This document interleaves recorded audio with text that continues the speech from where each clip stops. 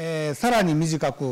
自伐教というふうに呼ばれております、えー、ぜひ、えこのお名前今日覚えて帰っていただければというふうに思っております。それとすいません。一つお断りがありましてですね、えー、皆さん、えー、チラシと見ておられることとございます、えー、パネルトークの出教、えー、出演予定になっておりましたですね。森田哲司様、えー、奈良県から、えー、おいでの方なんですけれ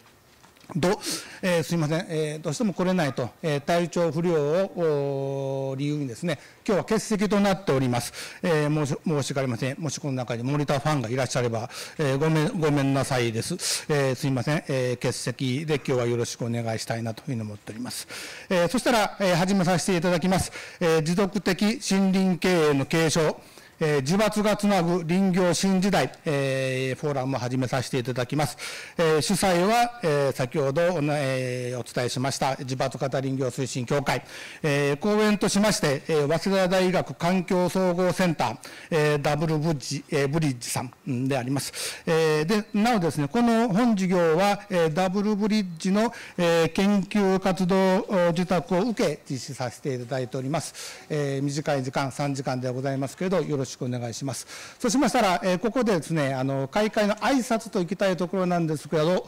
えー、それこそですね、1番目の話題提供がですね、えー、我々、えー、自伐型、えー、林業推進協会の代表理事であります、えー、中島となっております。えー、挨拶も兼ねて話題提供をさせていただきたいと思います。では、えー、中島さん、よろしくお願いします。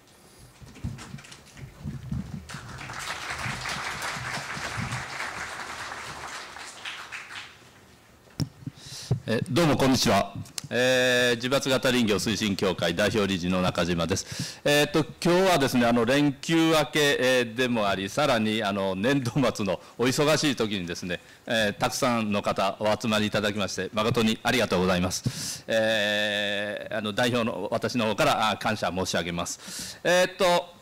いつもながらこのラフな格好で帽子かぶってやらさせていただきます。えー、っとまあ、今日はですね、あのー、この持続的森林経営、持続可能な森林経営、これをちょっと焦点にフォーラムを開催させてもらいたいと思います。えー、っとこの持続的な森林経営というのは我々が開発したものではなくやはりこう日本こう昔からですね、えー、やってられる方がおりましてですねそれは自伐林家の中にいたわけですけどもそういうあの素晴らしいやり方をですね今あの増え始めたあこの若手たちにねぜひ継承してもらいたいということで開催をさせて、えー、もらってます。えー、っとえー、今あの自伐型林業のこの推進がですねこの地方創生やそのえー、この地方創生のこの切り札みたいな感じで実際にもう切り札だと思ってるのですが今実際ですねこの数年の間に、えー、約全国で35市町村で自罰型林業展開始める方が出てきております。え、事業体数にすればもう60事業体ぐらいがですねあの実施してまして。多分あの高知県が一番進んでる。高知県はあの、え、小規模林業推進協議会といってですねあの県が、県でそういう自伐型を含めた、そういう小規模にやる林業化を支援するということでやってますが、この会員がもうすでに300人になってて、自伐展開している方がこの中で100人を超えてます。だから全国的には多分もうこの60事業体、ここに関わってる方は300人以上になってきてるのではないかという気がして、急速に広まってます。それから、えー、この自伐型林業推進を政策的に位置づけて、えー、展開するですね、あの自治体がもう15市町村を超えてきました。で、検討しているところも同じぐらいあって、ここここも一気に増えそうな感じです。自治体が展開すると何がいいとと面的に支援してくれるので、一気にその地域の方が増えます。高知県佐川町ではですね、え去年から自伐林業展開を始めて、林業ほとんどなかった地域だったにもかかわらずですね、農業を中心にやってた地域ですけど、もうすでに早20人を超えてるというような状況が生まれてきてまして、え今日来てくれてる四万十市この四万十川が流れるそのそこでやっててる宮崎君後で発表もありますが彼の周辺にはどんどん I ターン車がですね寄ってきてるという状況が生まれております。えだからあの今日はですねそう増え始めたこの自伐林業者たちがですね、えー、きちっとした森林経営を担ってほしい今実はこの、持続的森林経営というのが正直言って今の現行林業はこうちょっとないがしろになってるのではないかと思ってまして非常に、えー、そのやり方を自罰の中に持ち込んでしまうと非常にこう持続性がなくなるということもあってこういうフォーラムを開催させてもらいました。えー、まあ、消滅しかかっているというふうに書いてるんですが、その持続可能な森林経営を再構築するという、このスタートのフォーラムにしていきたいと思っております。えーと、なぜ自伐型林業なのか、これ、今まで言ってきたことです、地域住民や移住者、太陽間の参入用意、これから中山間地域の若者の就業拡大に直結し、えー、自伐との兼業で中山間地農業や観光の再生、えー、にも直結するということが分かってきました。で、もう中山間地域の切り札。今、配布資料の中にも、あの、日本農業新聞がです、社説で、えー、中山間地域農業の切り札だとこういうふうに断言してくれました。こういう感じで見られるようになってきた。それから森林保全、それから再生、土砂災害の防止、これの根本療法や獣害対策の根本療法と。いうような、あこれが今まで我々訴えてたのですが、少しですね、今回はこれの内容ではなくて、この、えー、日本の最大の特徴、森林率が7割あるんですね。この大きな資源、これを真の活用と維持、これにやっぱりこの持続的森林経営を確立させていくと。あの切っては捨て、切っては捨てってこう刹那的な林業ではなくてですね、いっぺんやりだした森をずっと活用して、えー、たくさんの就業を作っていくと。えー、で、えー、持続的森林経営の維持が危機に瀕している森林環境の悪化にも直結と。えーこういうことに今ななってるのではないかと思っています。で、現行林業はこの請負事業体中心の委託請負型の大規模制御がその要因ではないかと思ってるんですね。で、あの、林業の手法というのは、だから施業委託型林業、自伐型林業とこの2つがあるわけで、この施業委託型林業というのは、簡単に特徴をまとめると、所有と経営を分離してくると。で、大規模にその施業を大規模化し、企業経営型で持っていく。え、で山林所有者ではなくてですね請負事業体がこの中心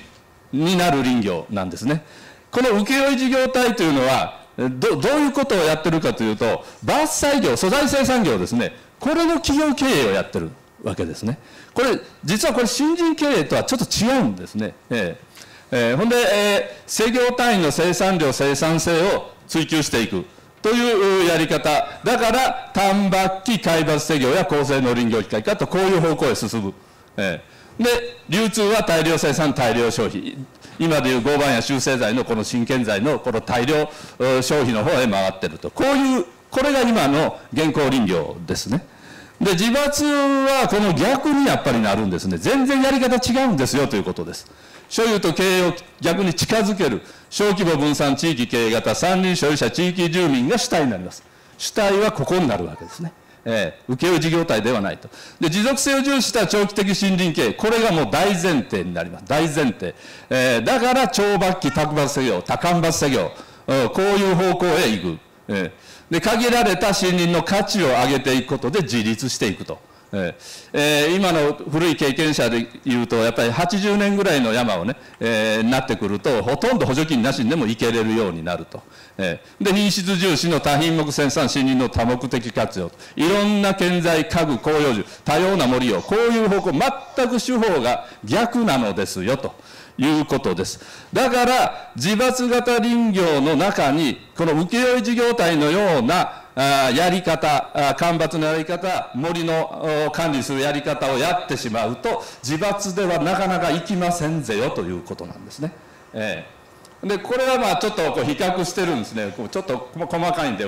まあ、単抜機、海抜作業、長抜機、卓抜作業、機械も全然違います、大きな道を入れて、えー、高性能林業機械、2.5メートル以下の道で小型ミニバックホー等。この機械すらそれから道の入れ方すらも違ってくるのですよと。だから自伐に変な作業を持ち込むと持続性がなくなりますよということなんですね。今一般的にはですねどうも勘違いが起こってると。この伐採業の企業経営この請負事業体がやる伐採業素材生産業の企業経営を持続的森林経営と俺勘違いをしてるのではないかと。こういう書き方をなんかあちこちで見ます。これは全く別物ですね持続的森林経営と。えーということです。それからこの50年から60年で開発して再造林すると。これをまた持続的森林経営と言ってると。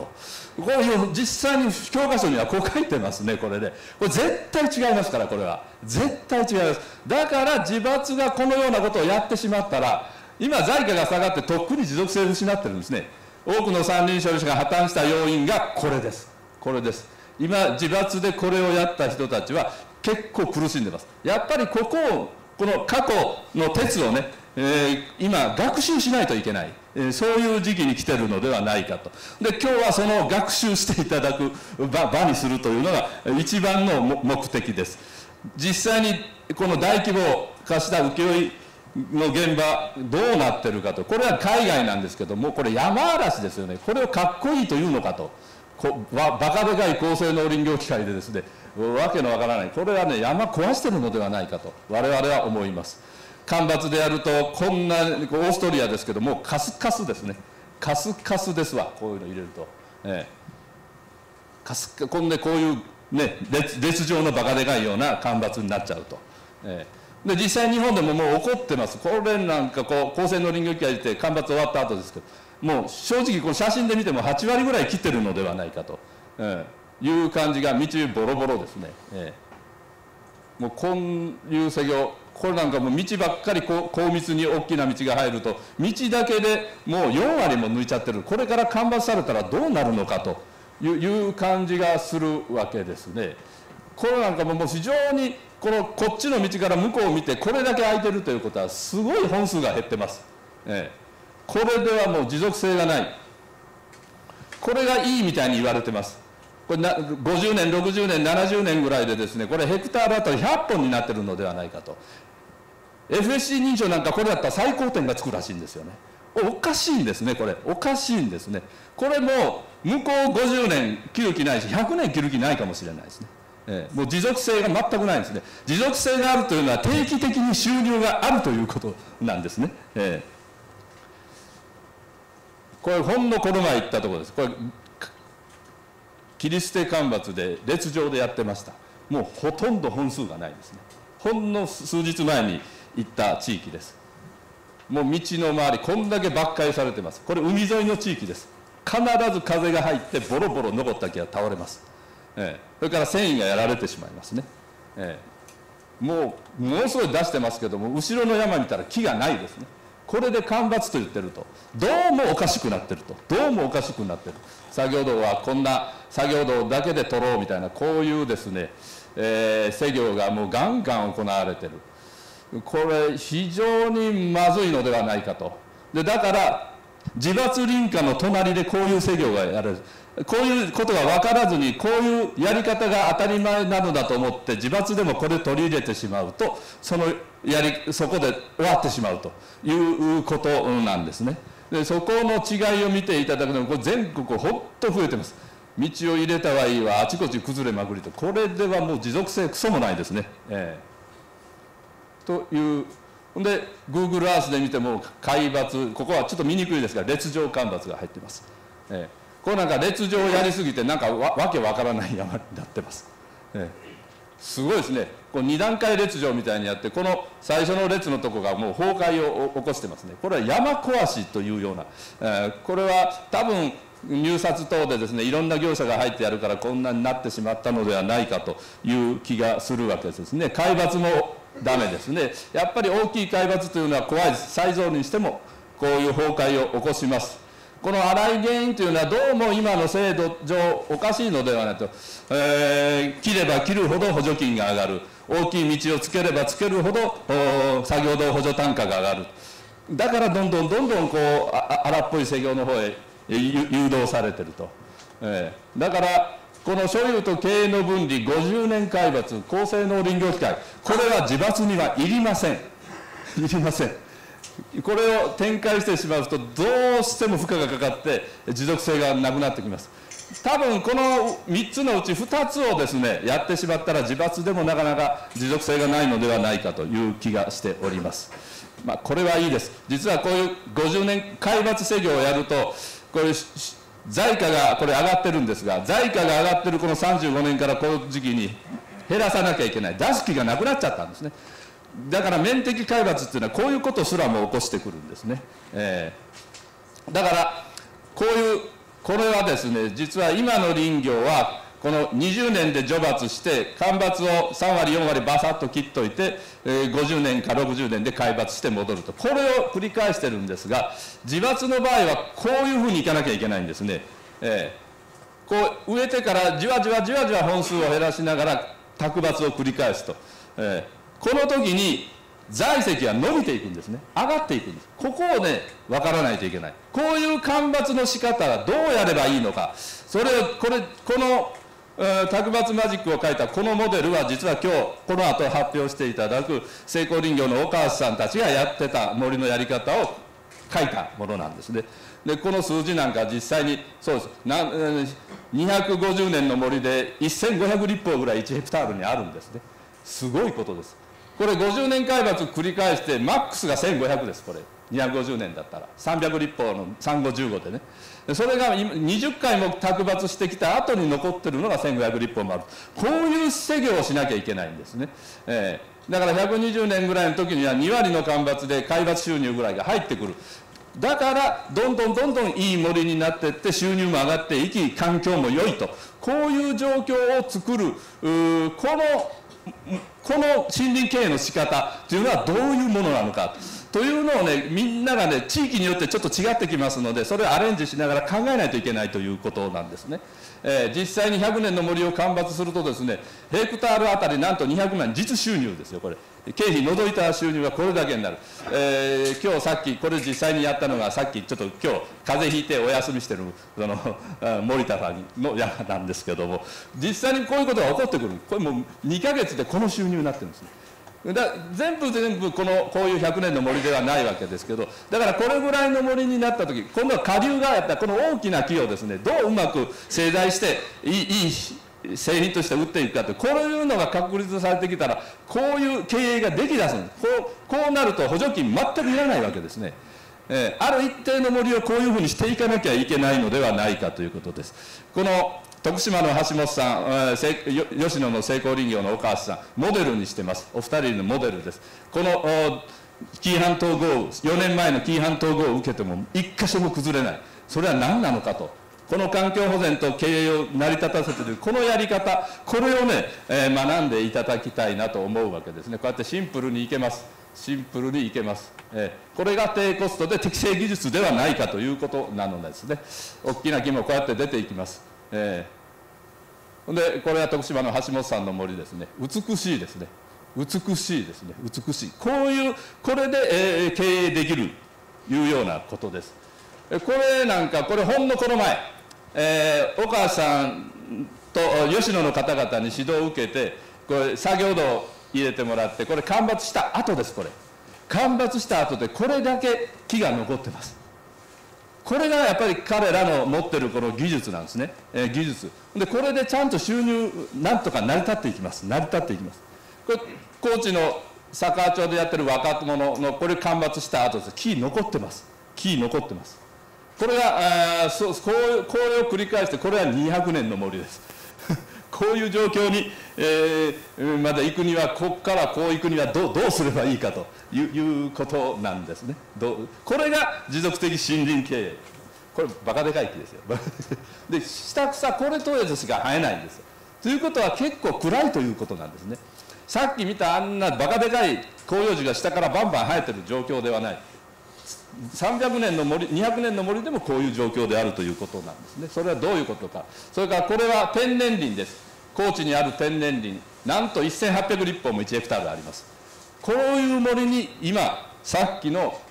この森は近づいてるわけですね、えー、だからこういう天然林を目標にするような作業をこうやっていかないといけないのではないかと。これ請負事業体では絶対に無理なのですね。絶対に無理なんですね、えー、それと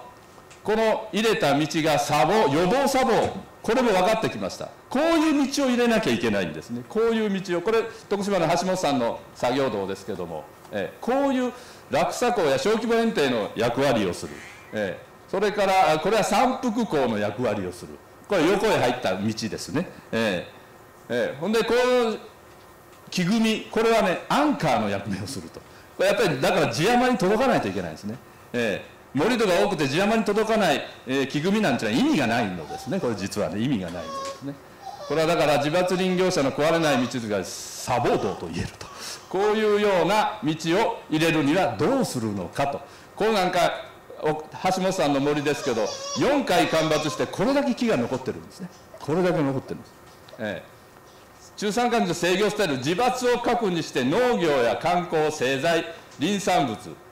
いろんなこういうものをね副業。それからたまにこうね請負やってもいいと思います。これは副業レベルです。自伐の人が請負であのスポット的にやる作業はきちっとねえー、これ請負であってもねしていくと思います。だから自伐の副業で請負はあるべきではないか。それから特殊伐採なんかをこういうのをね組み合わせて、えー、400万500万稼いでねというやり方ですね、えー、だからこういう林業を実現させるための持続的森林経営省育林間伐卓伐省作業道設手法がこう重要ではないかということですね、えー、今日は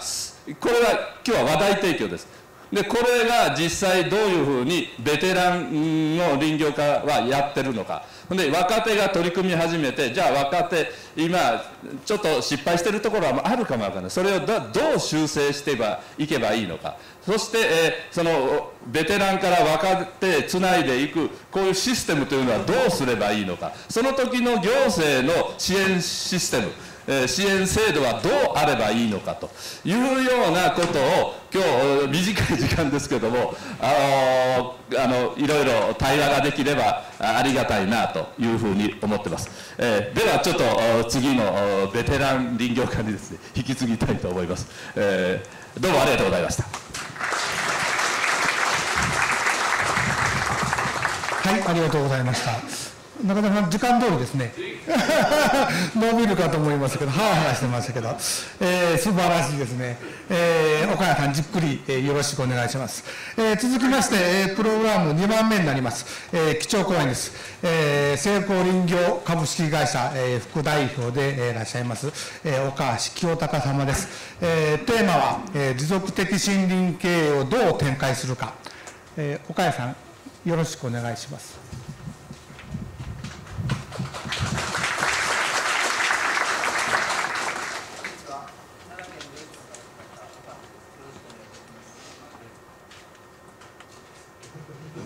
ょっと緊張してます。あのえー、今日はですね、あのまあ、表題は壊れない道づくり、これでいつも説明してるんですけども、今日はあの持続可能な林業ということで、ちょっと最初に喋、えー、るということなんですね。で、まあ、吉野っていうのは、あのまあ、杉で有名なとこなんですけども、あのまあ、歴史としてはですね、えー、一応500年の歴史があると言われております。でも実際の林業が始まったのは大体200年ぐらいですね。で、えー、現在も吉野郡の川上村、東吉野村に来るとですね、あのー、今見てるような木がまだ残っております。それで、えー、国道から走っても海抜地っていうのはものすごく少ないです。これはですね、吉野が、えー、伝統的にそのいわゆる持続可能、いわゆる、え、海抜施業じゃない施業をやってきたわけですね。で吉野といえども大昔はあの丹麦機施業であったというふうに聞いてます。でその丹麦機施業がだんだん長楽器になっていったんですけどもあのいろんな理由があってそういうふうになったわけですけどもね、えー、一つの理由といいますのはやっぱり商品。いわゆる、えー、吉野のメインであった一番林業が盛んになった時の商品というのはあの酒樽なんです。で酒樽を作る林業ということをやりかけてからいわゆるあの懲罰期にだんだんなっていくわけですね。で、えーまあ、戦後戦争中の強制伐採とかそういうのはもうあったわけですけどもその後やっぱりそういうふうな懲罰制御というのは吉野で現在も続いていますで吉野が今あの危機を迎えているわけです、えー、これから吉野の林業がずっと続いていくかということなんですけどもあの人の歴史っていうのは大体人の歴史って寿命というのは780年なんですけども、えー、木は大体杉で400年ぐらい生きていけるんじゃないかなという感じ。今、えー、吉野で、えー、大きな木があるのは、えー、300年ぐらいですね。だからあと100年ぐらいは置ける、えー、実際にはもっと置けるんじゃないかと言われてます。でその山を考えるときにですねあの人の寿命で考えるとですねあのどうしても単抜期になってしまうわけですね。自分の世代で切ってしまうということになるとあのどうしても単抜期になるたかだか100年ぐらいであの切ってしまうわけですね。であのいわゆる吉野の場合はその山を持ったという歴史がですねあの我々のような我々の先祖はいわゆる国中って言われる平野部の、え、大地主やったわけですね。でその大地主が何で山山を持っていったかというといわゆる投資の対象として持っていったわけです。いわゆるあの樽丸林業というのが盛んになって山を持つ山を持っても儲かってくるということでいわゆるその山の人があの下の人に売り込みをかけたわけですね。それは価値のあるある山を作ったわけです。下々が下の人が見てこの山にお金かけてもいいという山を作っていったわけですね。でそれはまあいわゆる成功して吉野はいわゆる貧しい村やったんです。米は一つも取れない。あの貧しい村がいわゆる一躍それでいわゆる外の資本をボーンと入れることに成功するわけですね。これは今後の現在のその林業を立て直すということにおいてもですねこれはヒントになるんではないかなというふうに思います。やっぱり、えー、山というのはある程度あの資本が入らないとできないんですね。で今現在でもそうなんです。今海抜施業っていうのはだんだんだんだんあのその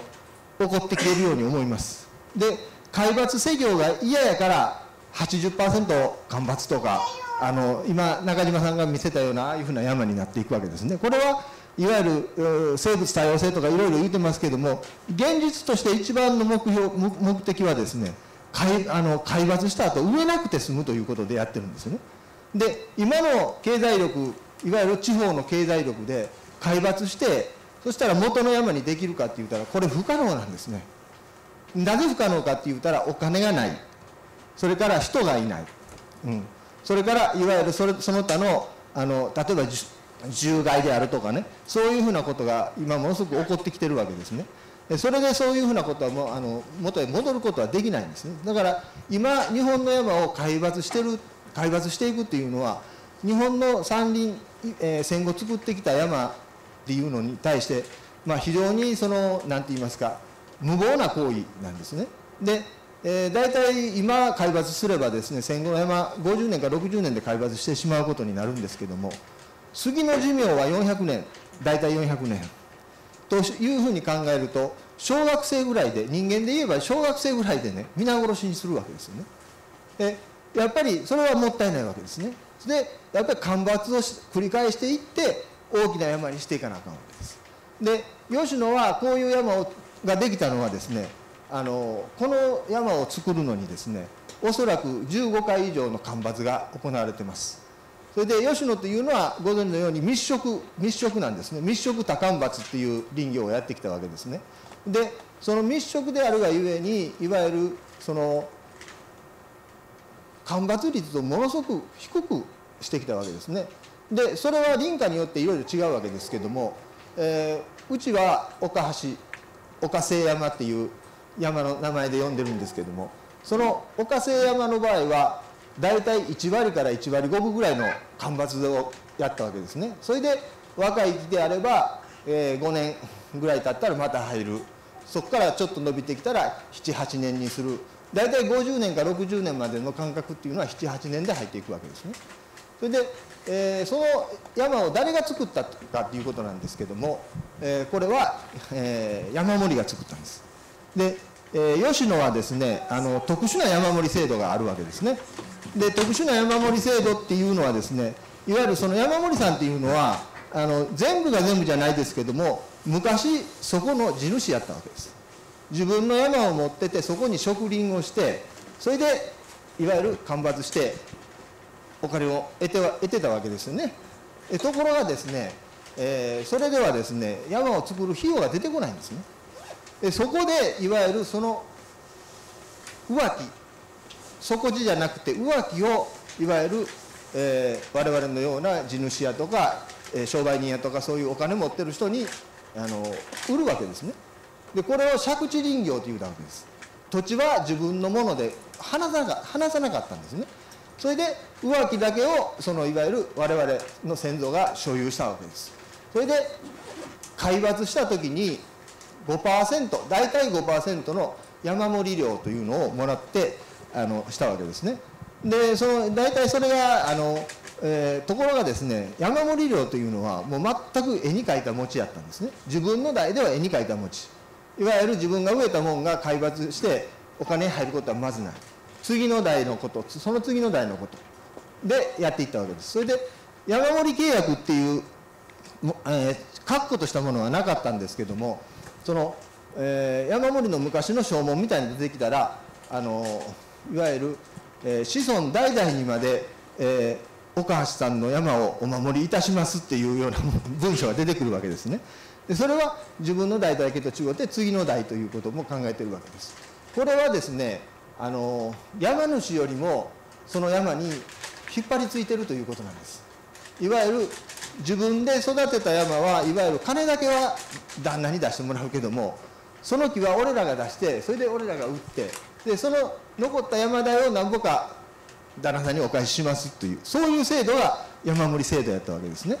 それでいわゆるその大事に育てるという思想があったわけですね。だからむちゃくちゃな干ばつをしたらいわゆるこういう益にならないというのを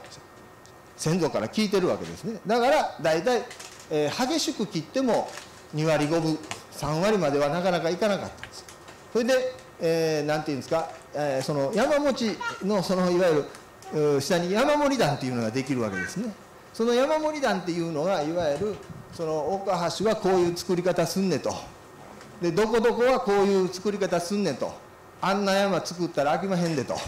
ろくな山にならしまへんっていうようなことで我々はそれを教え教え込まれたわけですね。だから我々のその番頭さんっていうのはかなり山のことに精通した人やったんですけどもあのもう干ばつは薄く薄く薄くというのはつけすぎないということですね。薄く薄く薄くつけていくというようなそういうふうなあの林業をしてきたわけですね。それは別に学校で学んだわけでもなし何でも学んだわけでもない。自分で小さい時から見ててそれが一番ええやええということなんですね。であの吉野はですねまあ、紀伊半島にありましてですねあのものすごく台風の害が多いんですよね。で台風の害が多いんですけどもあのいわゆる所有がものすごく小さいんです。何百丁部というようなまとめた持ち方はみんなしてないんです。ここで1丁ここで2丁多くても10丁とか20丁単位小さかったら何単っていうような山があるわけですね。だからあの持ち方としては災害に強い持ち方なんですね。非常に災害に強い持ち方。でところがですね、えー、一つ難点があるのはですねあの横の山を海抜されるともろに風を受けてしまうんです。それがもういわゆる一番のあの海抜しなければならない原因の一つなんですね。横切ったら風が入ってきていわゆる荒れる。でなぜ荒れるかっていうのは密植してるから上長成長ばっかしなんです吉野の木が。だから横切られたらもういわゆる腰抜けになった木がゆすられて全部このいわゆる繊維断裂が入ってくるわけですね。そういうふうなことでですねできるだけその山はたくさんつけないというのを学んどったわけですあの吉野の人はね。だから薄くつけていわゆる台風の害を防ぐ。そしていい山ができるっていうそういうふうなやり方をしとったわけです。それでですねあの今さっき中島さんがいろいろここで写真であった列状干ばつであるとかそれから、えー、4割5分5割のかあの干ばつというのはですねえー、いくら地方で3000本植えでタケノコに育ってるというてもですねやっぱり針葉樹は密植なんです。3000本って言うてもこれはもう密植なんですね。それで上伸びてますからああいう付け方をするとですねものすごく風に揉まれてしまうわけですね。で山の木っていうのはあのたくさん成立してることによっていわゆる風に強くなる。わけでこんだけ離れてしまうと風が吹くとここまで曲がるわけですよね。ところが合わせてるとここでぶつかり合ってくるわけですね。で風が吹いたと言っても一方一方方向に回るわけではなくて林にしてるとこういうふうにこう持ち合うというような形ができてくるわけですね。でそれでいわゆるあんだけ密植してひょろひょろに育てたやつでもえあの干ばつ率さえ間違えへんかったら残っていく。それがこういう今見てるような山になるわけですね。でもちろん風が当たる地形と風が当たらない地形というのがあるわけです。で我々の先祖はあの山を持つのがですね時代的に早かったらしいんですどうも。だから登記簿見たらあの登記簿1番っていうのが多いんですね、うん、であのそういうことでええとこ持ってるんですよね。あの風の当たらないとこを先にこうとあるんですね。で後からこうた人はお母さんの山は台風来たのにこけへんけどなんでうちの山こけまんの？って言うてよう言われるんですけどもそれは風来たらこけますせって言われしゃないんですね。でそれはですね地形的に風の当たらないとこがあるんですね。いわゆる山っていうのは風の当たらないとこがある。だからいわゆる急峻な山はいわゆる林業に向いたわけですね。で吉野のような急峻なえー、いわゆる上から土が出てきて下に溜まってくると。で溜まったところに杉の木を植えるとですねいわゆるサクサクになった土の上にわっと根が張ってきて大きな木になるわけですね。それでおまけに谷の底やから風に当たりにくいというそういうふうな形になるわけですね。でね結局、まあ、そういうふうなあのまあえー、その理屈を知った人が山をこさえたわけです。山森っていうのはいわゆるその山の理屈山でずっと住んどってそのいわゆるその風の時も雪の時も地元に住んどるわけですね。だから大きな雪が降ったら家で寝てたらボキンボキンと言うて折れる音が聞こえてああ明日は山行って起こさなあかんえらいこっちゃっていうようなことでやっとったわけですよね。でだからまあ長々と変なこと喋ってますけどもあのいわゆる山を守るのはですねあの地方にですね地元に人がおらなあかんわけですよね絶対にね。でところが今山盛り制度というのはあの壊れかけてきてるわけです。吉野の山盛り制度というのは後取る人がだんだんだんだんおらんいいようになってうちでも60数名の山盛りさんというのがおったんですねところが今はもうあの実動してる山盛りさんというのは、えー、もう23件そんなふうになってしまいましたそれで、えー、いわゆるこれからの吉野というのは非常にあの危ないっていうかねそういうふうなことになってきてるわけですそしたらですねなぜ山森さんがその少なくなってきたかっていうことなんですけども結局ですね今でも吉野の財というのはですね全国レベルからしたら非常に高いんですよね。であの決してそのいわゆる財価が下がったからダメっていうことではないんですね。でその吉野っていうのは今言いましたようにその山がきついんです。ものすごくきついからですねあの昔はいわゆる切った木は山でこぎって落とすわけですね。谷へ全部落としていくわけです。で谷へ落としていって下で金馬道とか佐でとか修羅とかそんなもんで引っ張って大川まで持って行ってそれでいわゆるあのいかだで流して出したわけですよね。でそういう林業をしててそれがだんだんその河川とかそういうものが発達してきていわゆる河川集材になっていくわけですね。で吉野はいわゆるあの奈良県っていうのはあの林道設率がものすごく全国レベルでも一番下の方ぐらいなんですけどもあの地元の人に言いますとですねもう道みたいな図源で言えないかと我々若い時はもう言われたんです。それはですね谷谷に全部道が入ったんですね。で河川集材やからね全部谷へ河川を下ろしてきたら全部集材できたわけですね。でそういう時代で山がきついそれから所有権がバラバラということで林道不設率っていうのはものすごく低かったわけですね。でそのいわゆる河川集材に戦後なっていってそれでそのあのいわゆるみんな出していったわけですけどね。その河川集材というのはですね非常に酷な仕事なんですよね。きつい仕事、うん、これでですね山森さんの子供たちはですねこんなん嫌やっていうことになってきつい仕事は嫌やということになって。で都会出ていくわけです。でまた頭のええやつが多かったんですそれでが高学歴になってもう戻ってこない人がものすごく多かった。これはもう全国どこでもそうなんですけどね。あのそういうことでだんだんだんだんあの後取りがおらなくなってきた。それとそれは山盛り世界だけではなくてその下で働いてくれとるそのいわゆる山行さんいわゆる山林労働者ですね。その層も同じやったんです。こんなきつい仕事は嫌やと。いうことであのそれといわゆるあの日東日東はものすごく良かったんです吉野は。全国レベルに比べたら日東は良かったんですけども雨では絶対行かないんです。だからあの年間収入にしたら低いんですやっぱりね。で山林労働っていうのはそういうところがあったわけですね。それであのみんな努力した事業体の人はいわゆる雨でもできる仕事っていうようなことで足場をむかしたりいわゆる磨き丸太を作ったりいろんなことしたんですけどもやっぱりあのほとんど失敗しはるんですよね。でなぜかって言うたらいわゆる片手間の商売になっていってしまうんでどうしてもそのあの熱が入らんようになってくるわけですね。でそういうのはあんまりうまくいかなかったそういうこともあっていわゆる定着する人がだんだんだんだん少なくなってきてでそれをそのいわゆる補ったのがですねさっき中島さんが言うたように四国ではですね切りすぎてですね労働者が行く山がなくなったんです。それで吉野からいわゆるうち来えへんかっていうお呼びがかかるわけですね。ほな四国よりも労働賃金がええから四国の人高知県の人はたくさん吉野に来たんです。それでしばらくの間吉野はその高知県の人やとか福井県の人でいわゆる労働力が足りてきて商売ができていったわけですね。その時山森さんは何しとったかっていうと儲けすぎてですね自ら山行かんようになったわけです。これであのいわゆるあの手形の書き換えとかそんなのが仕事になってきてですねあのまあまあ何て言うんですかちょっとこ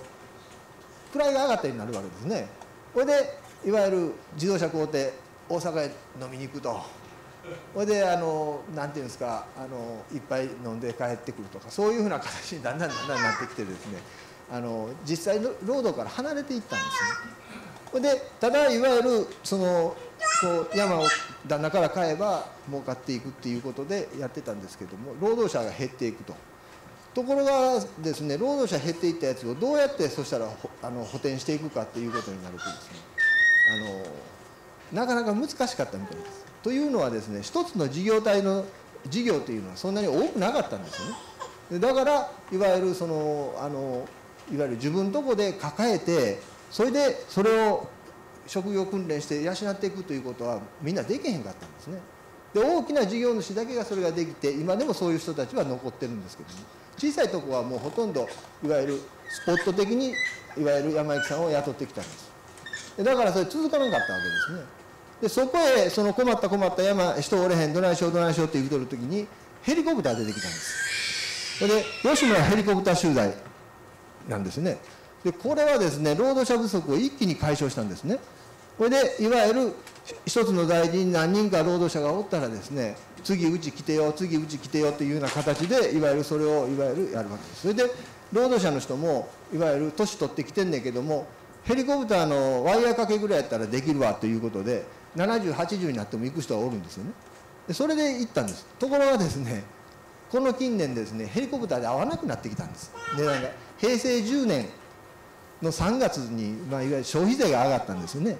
でその時にあの住宅不況バーンと来た時にですねあのいわゆるまああのなんていうんですか木が売れなくなったんですよね。でその売れなくなった原因はその平成10年以前にもあったわけですけどね。いわゆる7年の阪神大震災。とかそういうふうないろんな要因があったんですけどもあの、まあ、平成10年から目立って下がってしまってそれからいわゆる上がることがもうついになかったです今まで、うん、でそういうことでですねヘリコプターのいわゆるで出していってるやつがですねだんだん減ってくるわけです。いわゆる一本の木切ったら枝を枝がついてるとこまでヘリコプターで出しとったやつがですねもう今度はそのその下もその下もあかんわと。いうことで今やったら元2番玉ぐらいまでしか用出さんわけです。そ浅井さんが合わんわけですね。それでそのいわゆるヘリコプターのあのなんていうんですか？あの需要も減ってきてでヘリコプター山も撤退するところが多くなっていったわけですね。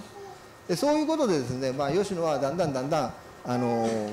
そのいい林業ができなくなってしまったということなんですね。それでですねまあ我々今あるようにですね我々はこういうふうな道を、まあ、つけたわけですね。でこの道をつけたのはですねまあはっきり言ったら我々若い時にあの、まあ、道道つけて林業しようというようなそのまあ全国の林業家の若い人たちがそういう意欲に燃えた時代があったわけです。でその時にうちの、うん、兄もそのうちも道つけてちゃんとした経営しようっていうようなことでやったんですけども。あの大失敗しましてですねあのもうとてつもない大きな崩壊を起こしてしまったんですね。でそれでこれではいけないということでまああのどうしようっていうとる時に、えー、河内河内って大阪の、えー、指導林家である大橋慶三郎さんっていう人に出会うわけですね。でその人に聞いて習った道がこれなんです。であのこれは何かというとですねあのいわゆる自分で出す道やと、うん、であんたらはいわゆる大橋慶三郎さんが我々に言うのはですねあんたらみたいな旦那さんは道みたいなのつけたらあかんと。だから初め教えてくれへんかったんですよね。でところがそのいわゆるいやあの自分でやるから教えてくれと。いうことで、まあ、やっと教えてくれたんですけどね。そのいわゆるあの自罰自罰っていうのは言わなかったですけど自作能になれって言わはったんですよね。山は自分で出すもんやと。それからその自分で出しもせえへんのにそういうことはあのしたらあかんでということで。ほら自分でやりますって言うて簡単に言うてんけどもこの辛さが後で分かってくるわけですけどね。あのまあそれでずっとやっていったわけですね。で若い時はそのいわゆるまあ何て言うんですか面白いっていう興味もあってもうガンガンやったんですけどね。振り返ってみたらね会社組織でやってるとあんまり合わんわけですわ。いろんなことがあってね。いわゆる事務所の経費も全部やっていくと。それで最初はですねイケイケイケイケでいわゆる干ばつもせんとですね道ばっかしつけとったからそれは合わんようになりますよね、うん、で結局そういうことでまああの今うちの会社がなんとか林業の収入を得ているのはこの道があったから、まあ、できてるわけですけども。あのまあその時でもですねやっぱり道つけてもなかなか林業っていうのは合わへんなっていうふうに思っとったんですよね。なんで合わへんねやろうっていうと自分でやってるようやけどもやっぱり人たくさん雇っとったんですね。でこれは合わへん一つの原因になっとったわけですね。でその時に中島さんに出会うたわけですわ。自分の山は自分で出すっていうようなことを言わへん。でこれは我々の道今までつけてきた道がいわゆる生きてくるのはこの自伐林業でしかないんちゃうかっていうふうに私は思ったわけですね。でそれまでには森林組合のからあの講師に来てくれとか林野庁からとかいろいろあったんですけどもいわゆるそのまあ作業員の人が来て教えるわけですよね。そしたら作業員の人は「これええなこの道の付け方ええやん」とか言うてものすごい喜んでくれるわけですわ。でそれから数ヶ月経っておったら先生先生に教えてもらったこと全然しとらんよっていうようなそんな感じ。やっぱり組合に戻ったらいわゆる能率言われるからこんな2メーター50の道でっていうことになると幹部の方に否定されるらしいんです。これでいわゆるそれでいわゆる逆らってクビになった子もおります、うん、でまあ非常に気の毒なことを教えたなというふうに思っておるんですけども。あのまあそういうあのことがあってですねやっぱりこれは自伐で自伐が使う道であると。で自伐林家っていうのはねあのその何て言いますか自分の山をですね潰したらあかんのですわ。で我々は若い時はたくさんあるもんやからちょっとぐらい潰してもええやろと思ったんですね。で大きな間違いと思います。でやっぱり自伐林家でやってる方っていうのは山林所有の形からしたら30丁部や40丁部ってものすごく大きくないんですよ。だからね絶対崩したらダメな損なんですよ。それと大きな道は臨地減らすんです。大きな3メーターであるとか3メーター50っていうのは2メーター50から比べたらたった50センチじゃないかっていうんですけどもこの50センチっていうのは山にとってはかなり重たいんです。ものすごく傷がついてるんです。で私は2メーター50でつけてますけどもこれはトラックを上げるということで2メーター50つけてますけどもあの2メーター50以下にせんとダメですね。場合によっては1メーター780でもええんじゃないかっていうふうに思います。それほど日本の山っていうのは崩れやすいんです。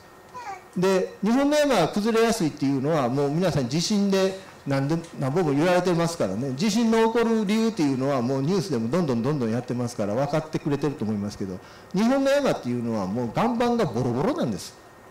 で1枚の岩盤みたいなほとんどないんですよね。大きく見えても割れてるんですやっぱりね。であのいわゆる山に道つけて切り取りが高くなったら絶対落ちてくるんです。落ちてくる。それでそれをいわゆる落ちてくるからまた幅を切るんです。幅を切ってその土はどこへ置か置くかって言ったら国道やったらどっかに持って行って処分しようんです。潰れ地っていうのを作って土土を積んでいってるんです。ところが民間でつけたらそんなことしとったら合わへんから潰れたら奥へ入っていく。路肩が抜けたらまた山へ入るわけです。山へ入っていってそれを切り取った土はどこへほかすかっていうと山へほかさなきゃないんです。で山へほかすからいわゆる林地がそれだけでも荒れてしまうんですよ。氷土の上にかぶってしまうわけだから。それだけでも荒れてしまうのにねそこへ雨降ってきたらズボーンと滑ってしまうそれがさっきあった写真なんですよ。だからその山の道っていうのはちっちゃく切ったらこっち側へ積む土も量も減るわけですよね。だから道幅っていうのは3メーターでないとあかん3メーター50でないとあかんっていうのは絶対おかしいんですよね。で自分の山自伐で自分の山持っとる人はですね幅を狭くしてつけていったらええんですよ。幅を狭くしてつけていってそこへ合う機械を持っていったらええわけですね。で大きな機械を持っていってそれに合わせるようなことをしたらですね余計な経費をかけかけてくるわけです。で自伐林家の人ってねはっきり言うてねあのバカにしとんのちゃいますけどもお金ないですよはっきり言うからね。それがですね大きな1000万円もするような機械買うてね。それが1台やったらええんですけどもセットで買わなあかんからやっぱり何千万ってしてくるんですよね。だからあの我々がやってるユンボやったら中古で買うたら150万か200万ぐらい。林内車でも150万ぐらいなんですよね。なんとかそれでやっていけると思うんですよね。だからいや今の山に多大な投資するのはちょっと危ないと思いますね。それとやっぱりきれいな道をつけることによって山の評価税務評価じゃなくって山の本当の評価が上が評価っていうか価値が上がってきますね。でやっぱり山っていうのはあのいわゆる今あの先ほど言ったように干ばつ干ばつが大事。それから道のつけ方が大事。それから出し方が大事なんですね。で出題する能力を持つことによってですねあのいわゆる自伐化ができるわけです。で山いくらたくさん持ってても自分で出す能力なかったらこれは自分のもんでないんです。で我々がその一番思ったのは道をこういうふうにつけていって初めてこの山は自分らの山やというのがあの実感として湧くんですよね。でそれまでは国道から眺めてあれが俺の山やって思うとるだけ。こんなんは誰かに頼まな出てこえへんしあのいわゆる自分のもんであっても自分でないんです。でそれをやっぱり出題方法道をつけて出す方法さえ覚えたらいわゆるあの自伐ができるわけですよね。それがまああの一つのあの方法やと思います。本当？は終わってたらよかった。えー、っと。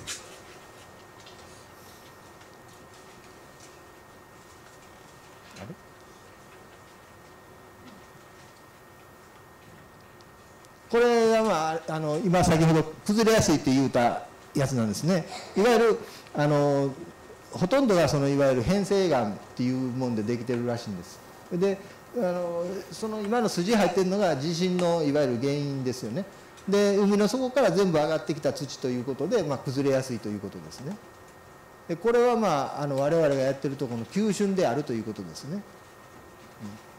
うん、我々はその川上村というところでやってますけども上北と川上なんですけども非常に赤の部分35度以上の傾斜が多いわけです大体日本の山ってきついんですよねでまあ道をつけるっていうのはあの、まあ、基本的な考え方ですよね道をつける系えー、っとまあロゴは環境性と経済性との一致を主眼に置くということですね。環境性っていうのは潰さないということです。いわゆる山をよく見てつけて無茶なことはしないということですね。それから経済性っていうのはやっぱり気を出さなあかんから、路網の感覚であるとか、そういうものをやっぱり考えていかなあかんわけですね。えー、まあこの自然の掟法則っていうのはいわゆるあの道がなぜ潰れるかっていうたらあのほとんどは水で潰れてるわけです。雨で潰れてるわけですね。だからいわゆるそのいわゆるあの雨雨よりも怖いのが谷の水なんですね。であのよくあるのがですねあの谷を渡る時にですねヒューム管とかコルゲート管っていうようなそういうような土管ですよね。そんなものを埋めて勾配を下げずにそのままの勾配で行ってる道がありますよね。これ国道が一番そうなんですね。国道は橋かけてあの登っていってますね。絶対逆勾配取らないですね。で我々の道はですねそのいわゆる谷の水をそのいわゆるなんぼ2メーターの道であろうが1メーター50の道であろうが谷に向かって上りでつけてそのまま継ぎ切ってしまったらですね谷の水全部道にの流れてくるんですね。でこれが一番怖いんです。今度は道幅関係なく潰れてしまいます。だからそのいわゆるあのそういうふうな掟ですよね。水は高きから低きに流れるというようなそういうふうなことを言ってますね。それからまあかぶってますけども効率と道の安定ですね。いわゆる道はよく我々聞いた言われたのがですねあのお母さんの道はメーターなんぼでできてますかって言われるんですよね。でメーターなんぼでできてますかって言うたらあのどうしても4000円やとか7000円になるわけですね。ああそれはうちらには無理ですわと。お母さんやからできまんねんなって言われるわけですね。でただですねそのね解説単価っていうよりもですね道っていうのはあの維持維持経費なんです。で矢がたくさんあれば道の距離も伸びていくわけですよね。これが修繕ばっかしするような道つけてたらですね維持管理費がものすごくかかってくるわけです。でこれはですね、まあ、その山をですね道つけた山を将来自分の子孫に渡していこうとしたらですねこれ不良資産を作ったことになるんです。でねあの我々の知ってる方でですねあの大きな道ばっかし作って潰れていってですねその人は何言うたかって言ったらその親父さんに向かって「親父あんたは俺に不良資産残したぞ」と言って言わはったらしいんです。やっぱりねそのあの子孫が困るようなことはしたらダメなんです。もちろん林家としてはね。えー、まあこれは技術的なことなんですけども対象山林っていうのは今こういうふうなをできるだけ高い位置例えば航空写真それからいわゆるこういうの向かい側から撮ってですね山の形っていうのは初めから把握しておかんとダメだっていうことですね、えー、いきなりいわゆる図上設計して無謀にバッと入っていくっていうようなことをせずにですねやっぱり普段からじっくりじっくり考えてやるということですね。これは今言うたところですね。はい。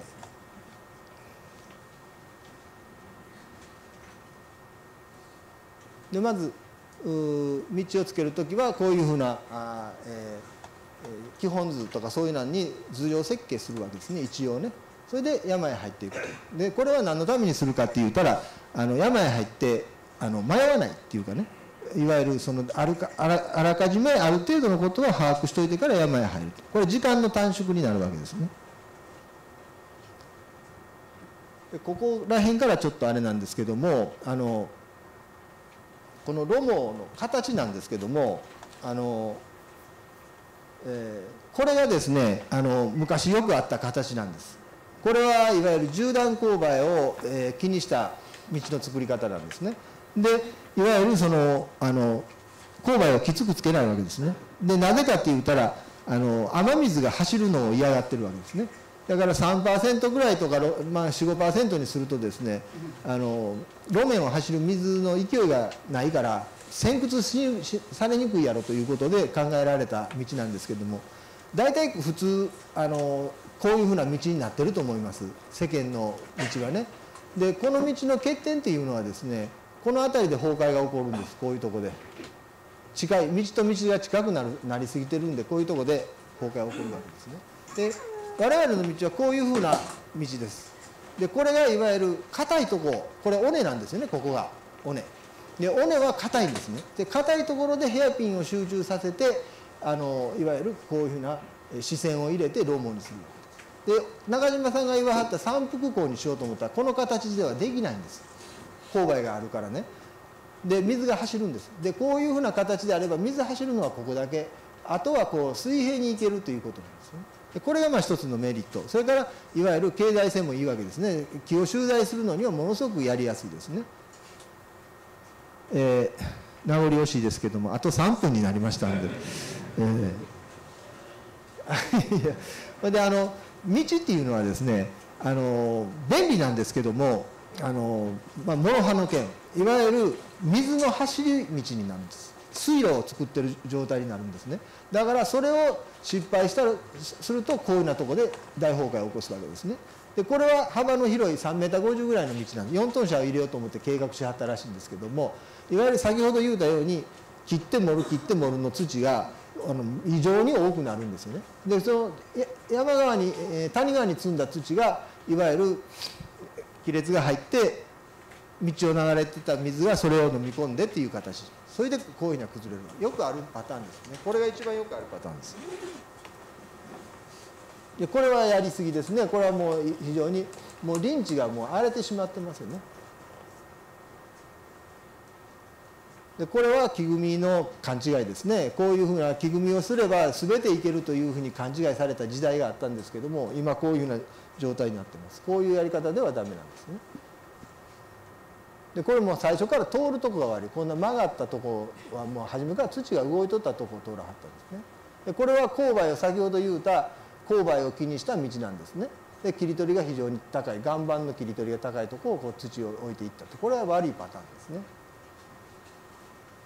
でこれは深層崩壊ですけどもいわゆるあのやっぱり日本の山っていうのはこういう崩れ方するんです。特にあの吉野郡なんかではこういう崩れ方する。非常に怖いですね。だから舐めたら本当にダメなんですね。だからもうこういうとこはあの道つけつけてこれ道の道が原因で潰れてるわけではないんですけどもあのこういうとこへそのいわゆる分からずに道を入れると投資した金全部パーになってしまうのね。非常に怖いと思います。これも大崩壊の後ですね。こういうふうな滑り方していってますね。非常に危ないですね。だからあのこれを見極めるっていうのは非常に難しいんですけども見極められへんかったらそこであの財産は失ってしまいます。山も失うしつけた道も失ってしまうということになるのでこれどうやって見分けるかって言ったらあの今研究してはります大学でね。だからそういうのはまあそれあのもともと勾配がきついですしやりにくいと思ったところですね、はい、ちょっと飛ばしますね。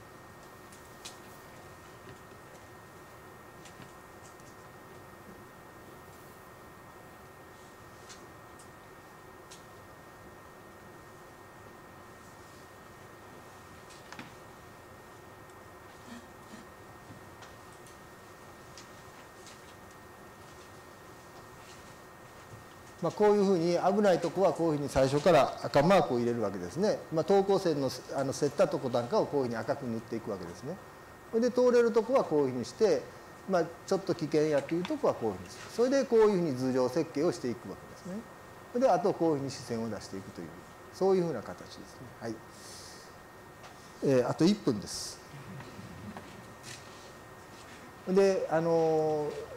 路線搭載っていうのはですねあの普通測量したりするんですけどもあのこういうふうな簡易な道はですねもうあの木の上上がってとかそんな程度のあれでいわゆるそのなんていうんですかあの測量台とかそんなんはもうゼロですね。これペンキで拭くだけですね。でこういうちっちゃいユンボ。いわゆる3トンのユンボなんですけども決して大きなユンボ3トン以上のユンボは入れません。でいわゆるあのできるだけ最初土を動かす動く動かすのを少なくこういうふうにやっていくわけですね。で2メーター50の道最後になりますけども2メーター50の道はあの林地は減らないんです。で皆さん山持ってる方は分かると思いますけども上見ていわゆるその木が100年になったらあのその間に入るということです。ちょっと時間が来ました。申し訳ないです、はい、またの機会を、はい。